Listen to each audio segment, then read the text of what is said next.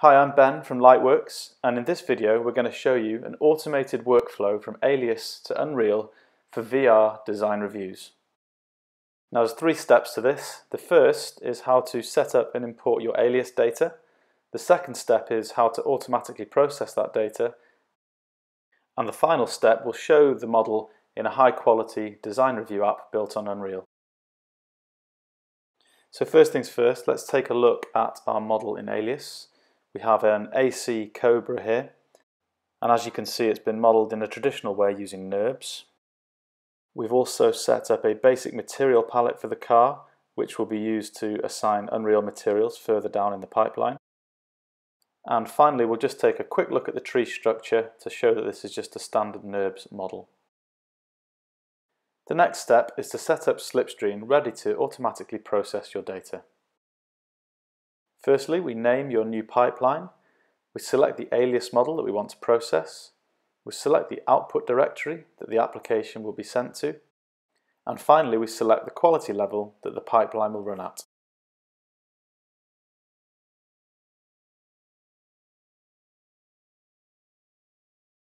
Back in the dashboard, we hit Run Pipeline to start Slipstream.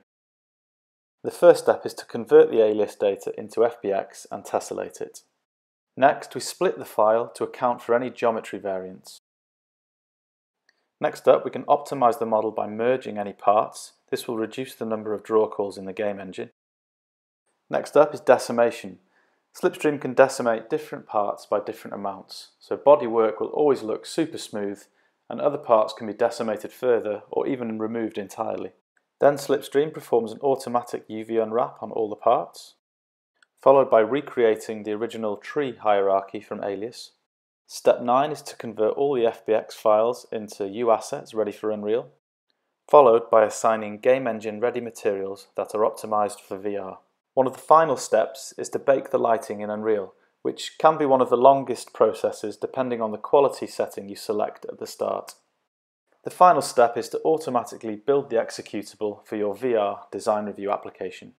Once completed, you can see that all nodes have passed successfully, the pipeline is finished, and in this case it was completed in 44 minutes and 16 seconds. The final step is to take a look at our data in a personalised VR design review application. Simply double click on the executable to open it. When the lobby opens, click Host Review to view your model. And once in your review, you can do all the usual things like navigating around your model, access your personal user interface on your wrist, which enables you to switch environments, change materials on individual parts, or even colorways on groups of parts.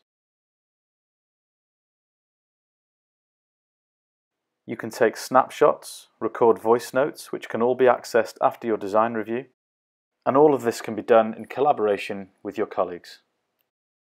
So in this video, you've seen how to set up your data in Alias, import it into Slipstream, automatically optimize it, ready for a personalized design review in Unreal.